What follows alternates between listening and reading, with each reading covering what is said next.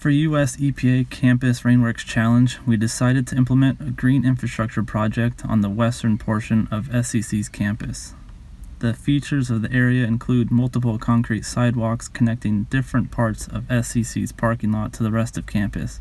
In between the sidewalks are landscaping areas with low-lying shrubs and tall eucalyptus trees. Multiple impervious surfaces like parking lots, asphalt roads, northern portion of campus, portables, and storm drains surround campus, resulting in a majority of seasonal rainfall wasted running down storm drains directed to the ocean. To aid in stormwater runoff from the surrounding areas, our team determined that a bioretention basin with underdrain would be the best option for the task. Soils on campus contained clays and were classified as D soils, unsuitable for an effective bioretention. Installing an underdrain will help mitigate the flooding to a maximum height within the basin, 6 inches per technical guide.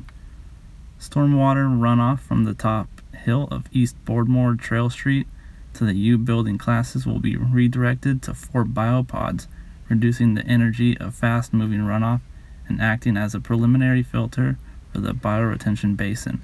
Access runoff from these pods will be drained into the bioretention basin. The area will be installed with diverse drought-tolerant plants to assist the bioretention basin to reduce soil erosion and evapotranspiration, as well as adding an aesthetical improvement to the campus.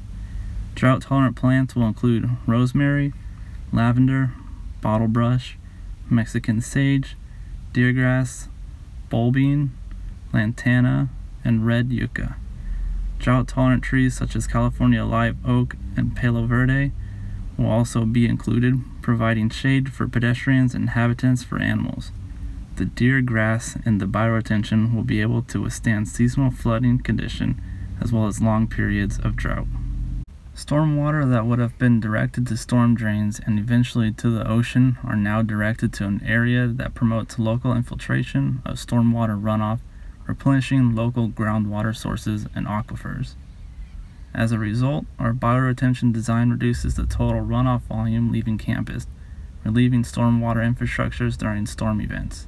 Pollutants associated with impervious surfaces like oils, metals, sediments are mitigated through natural filtration of the soil and plants in the bioretention basin, improving TMDL results in channels.